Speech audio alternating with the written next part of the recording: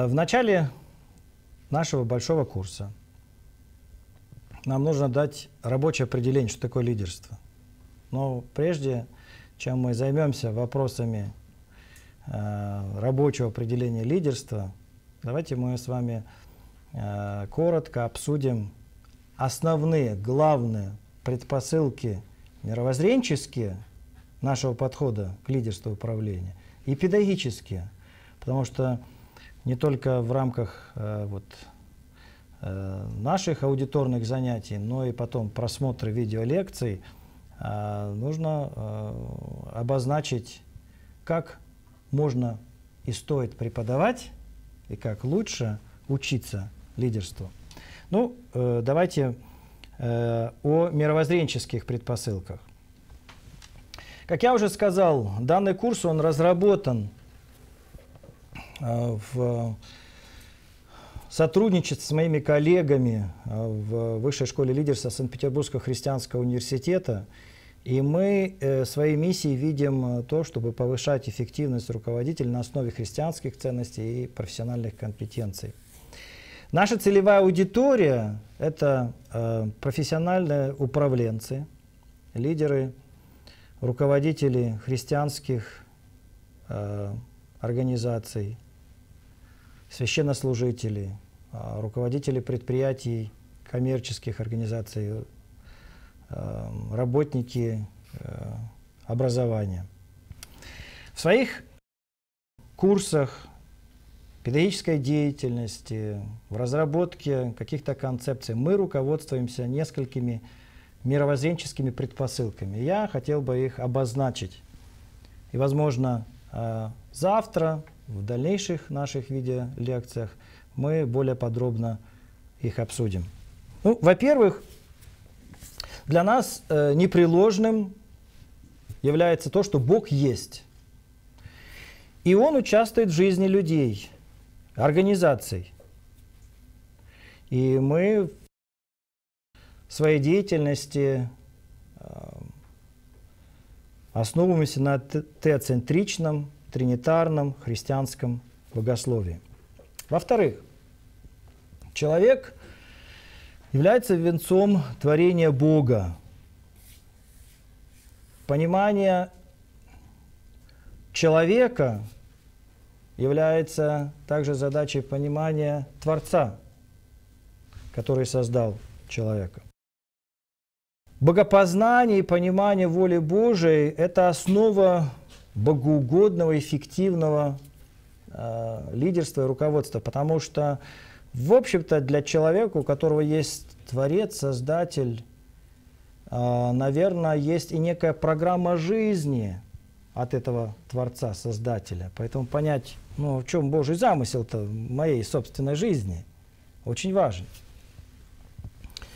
На основании Священного Писания мы видим, что кризис а, лидерства, руководства ну, заключается в грехопадении. Когда человек а, непослушанием Богу внес э, диссонанс в то, что должно было быть гармоничным и созидательным. Но есть выход – к богоугодному, созидательному, совершенному, эффективному лидерству и руководству.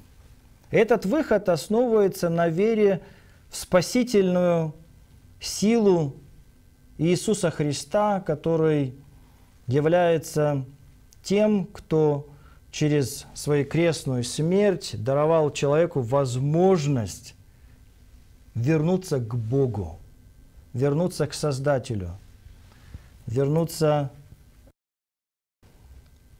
к тому, кто может не только простить, но преобразить, дать новую природу и дать новое направление. Через спасение человек по вере во Христа, человек приобретает возможности к богоугодному лидерству и руководству – которая основывается на то, чтобы вести людей, организации да, в общем-то, и руководить собой в соответствии с замыслом Бога. Мы э, четко обозначили для себя, что Священное Писание, Библия, является основой мудрости для э, практической жизни человека. Это источник мудрости от Бога, живое Его Слово, которое научает, наставляет, обличает, исправляет человека. В христианском сообществе мы воспринимаем понятие лидерства и руководства очень широко. И когда мы говорим о лидерстве и руководстве, мы говорим о том явлении, которое, в общем-то, наблюдается не только в поместных христианских общинах, не только в христианских организациях, но в светских организациях, а в группах, коллективах человеческих, везде, где есть взаимодействие людей, при достижении общей цели присутствует лидерство. И Божий свет, и Божья мудрость касается лидерства и руководства всех сфер. И может облагородить, и может помочь быть эффективным. Ну и последнее. Мы воспринимаем, что мудрость Божья, силы, крепости, свет, духовная поддержка, она исходит из э, источника одного.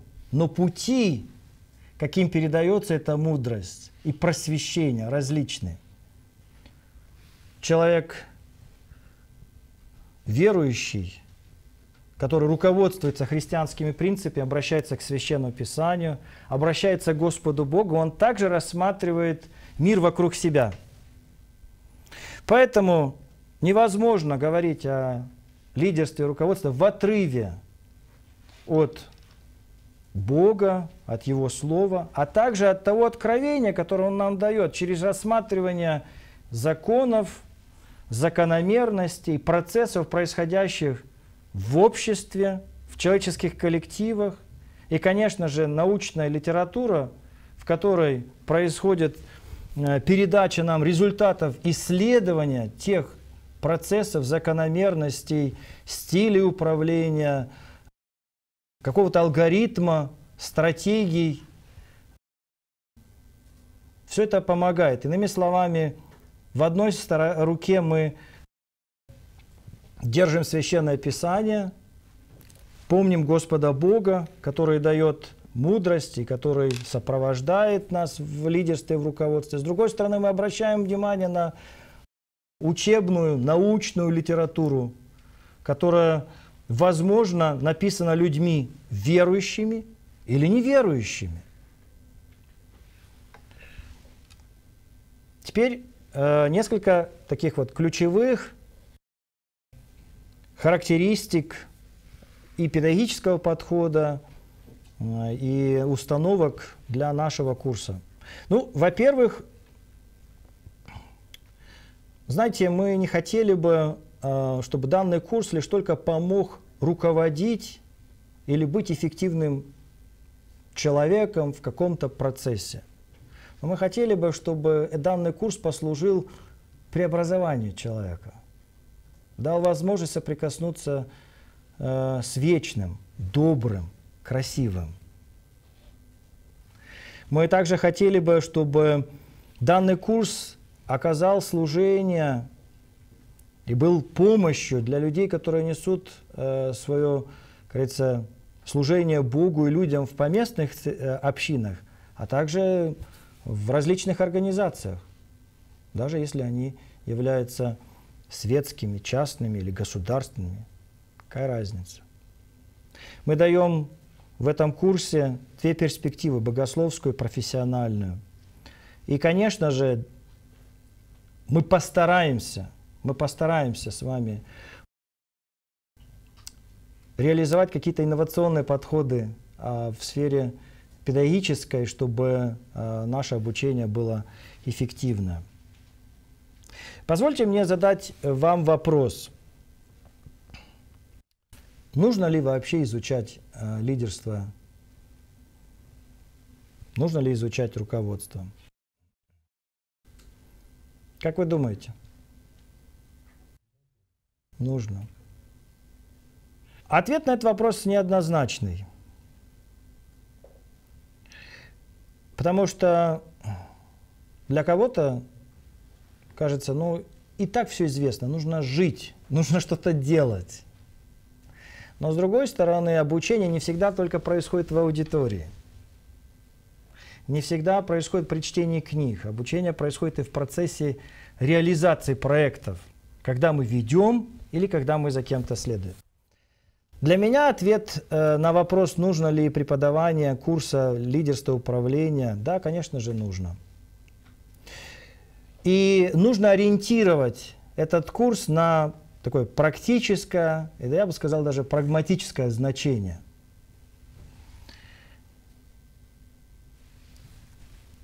Если подойти к вопросу серьезно, как создать условия для того, чтобы можно было бы научиться лидерству и, и руководству эффективному, то здесь нужно было бы выстроить определенный такой педагогический подход.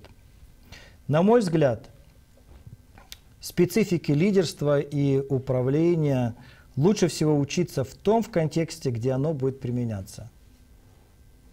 Потому что сам контекст, он уже дает определенные ответы на специфику потребностей, стилей, подходов, а, стратегий, ценностей в конечном итоге. Я думаю, что лидерству и руководству нужно прежде всего учиться в тех организациях, в которых человек работает, в той команде, которой он принадлежит –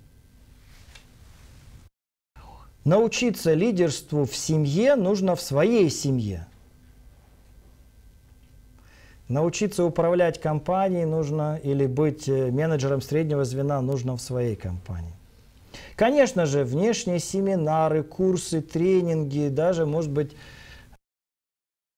завершение полного, полной программы там, высшего образования, это все помогает – но подготовка лидеров и руководителей должно происходить на местах. Почему? Потому что таким образом мы сможем создавать культуру развития лидеров, Таким образом мы сможем увидеть реальные примеры людей, которые не просто нам красиво рассказывают, но мы можем увидеть их жизнь, их поступки, их действия, их поведение и увидеть результаты.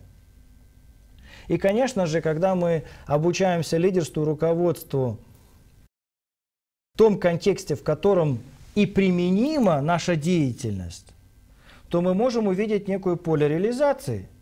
То есть, а для чего все это я? Ну, возьмем мы, например, команда образования. Если человек на необитаемом острове, команда образования может когда-то пригодиться, но ему надоест слушать лекции очень быстро – а уж тем более попытаться, ну вот, организовать эту команду и проследить цикл ее жизнедеятельности. Заниматься стратегическим планированием в условиях, в которых ничего не планируется, и культура совсем другая, невозможно. Можно прослушать такой курс, но не применить эти знания. И получается, что когда мы находимся в том контексте, где есть условия для реализации, где есть возможность работать и развиваться, и совершенствоваться с помощью наставников, с помощью коллег, в реализации тех или иных проектов, это э, лучше всего, э, что можно придумать. Независимо от выбранного нами подхода, слушаем ли мы лекции, аудио, видео, Участвуем мы в семинарах, читаем ли мы книжки, теории, практика лидерства на любом языке, на котором мы можем читать. Все это недостаточно без того, чтобы мы не включались, чтобы умственно мы не включались, чтобы эмоционально мы не включались в процесс, чтобы практически мы не включались. Поэтому нам необходимо делать сознательные усилия к тому, чтобы включаться в процесс – Пожалуйста, слушайте меня, но слушайте критически. Записывайте комментарии, записывайте вопросы, поднимайте руку, останавливайте. А если вы смотрите видеозапись, выключайте. Говорите, об этом я должен поговорить с более компетентными людьми. Пожалуйста. Но включайтесь. Потому что только тогда, когда человек включается в обсуждение, в анализ, в критическое осмысление, пытается сопоставить своей практикой или говорит, хорошо, вот я попробую, если это на практике эффективно, тогда поверю. Пассивное обучение не приносит пользы. Формы обучения могут быть самые разнообразные. А можно, конечно, у ног учителя, в горнице наставника послушать, расскажи, подскажи, как ты считаешь. Вообще, когда мы говорим об обучении, есть разные формы, и они все, в общем-то, в том или ином контексте срабатывают. Когда менеджеру нужно дать установки, то иногда планерка пятиминутная, когда все молчат и запоминают, что я говорю, это вот форма обучения, лидерство и управление. Директивно делай это, делай то, делай другое. Всегда, например, учиться лишь только так, в таком формате, слушая указания, наверное, человек, в общем-то, ничего особенно не научится. Одно дело выслушать, что нужно делать. Но пожарнику можно много раз рассказать, как нужно тушить пожар. Но пожарники, э, они, в общем-то, занимаются тем, что э, часто занимаются э, тренировками. У них есть эти упражнения, а, как у музыкантов, как э, у спортсменов, так и у пожарников. Любая служба, от четкости действий которых, слаженности и профессионализма зависит очень многое, они проводят достаточно интенсивно времени в обучении. Потому что Легко в бою кому? Тем, кто много учился. Тяжело в учении, легко в бою. Видеосеминария ТВС – благотворительный проект. Наш общий вклад обеспечит доступное христианское образование и формирование сотен служителей по всему миру. Поддержите наш проект молитвой и финансами. О чем молиться и как пожертвовать вы можете найти на сайте www.tvseminary.com. Мой взгляд, лучшее обучение лидерству и руководству, конечно же, происходит в формате круглого стола, обмена мнений, вброс вопросов, разбор э, жизненных ситуаций – аналитика всех известных, принятие интуитивных решений. Если группа людей, в которой вы вовлечены как руководитель или как один из участников, собирается для планирования, анализа, решения каких-то вопросов, и происходит взаимный обмен, тогда можно надеяться, что сообща и цели будут достигнуты, и никто не выпадет из команды, и много чего произойдет созидательно. Иными словами, обучаться лидерству можно в контексте, где применимо это лидерство и руководство, и когда это происходит с теми людьми, с кем, в общем-то, вы будете работать. Поэтому это лучший подход. Конечно же, все другие методы являются вспомогающими, как и сама жизнь, она тоже дает нам новые возможности для того, чтобы совершенствоваться. Когда мы преподаем курс э, лидерства, руководства, мы считаем, что получить максимальную пользу от этого курса можно лишь только тогда, когда человек запасется терпением, прослушает весь курс и не удовлетворится услышанным или своим тем опытом, но возьмет вот эту общую такую вот систему и говорит, хорошо, вот теперь я должен более глубоко предметно разобраться к тому или иному вопросу. Этот курс не даст всех ответов, да мы и не сможем задать все вопросы. То, что важно нам сегодня, окажется э, неважным завтра, и послезавтра день принесет нам новые вопросы. Мы даже не подозревали, что нужно на них давать ответы. Поэтому, естественно, что-то вы услышите, вы увидите, но я желаю, чтобы вы продолжали, в общем-то, думать, развиваться, э, вести диалог и общаться с другими людьми. Э, я могу дать много информации, но она не будет исчерпывающая. Мы можем говорить о каких-то вопросах, но это не будет, в общем-то, некий совершенный взгляд на те или иные вопросы. Самое главное, необходимо стимулировать сознание, необходимо иметь определенное систематичное представление о лидерстве и управлении, ну и затем развивать компетенции уже в частных вопросах. На мой взгляд, лучший подход в преподавательской деятельности и, с другой стороны, и лучший подход э, к обучению лидерства управления – это через подключение к реальным проектам. Научиться руководить группой можно тогда, когда ты ей руководишь. Руководить предприятием, когда ты им руководишь. Решать конфликты, когда ты их решаешь. Конечно, превентивно, проактивно лучше